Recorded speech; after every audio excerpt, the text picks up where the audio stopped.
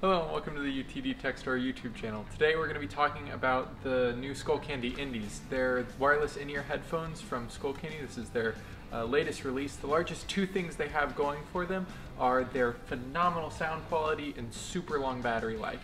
Uh, they last 16 hours, that's 4 on the actual earphones and 12 additional from the case. Uh, I wore mine for 3 days straight without charging them and they died on the way home on the third day in the bus. Um, they do charge from a micro USB port on the bottom and it does come with a micro USB cable.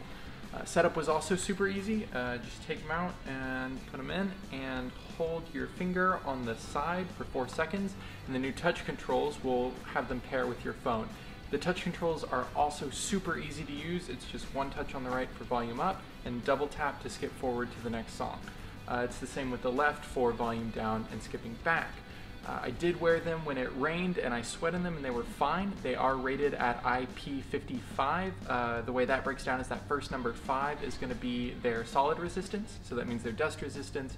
You'll be fine um, just in day-to-day -day use with those, but what you really want to pay attention to is that second number, which is also a 5, which is their water resistance.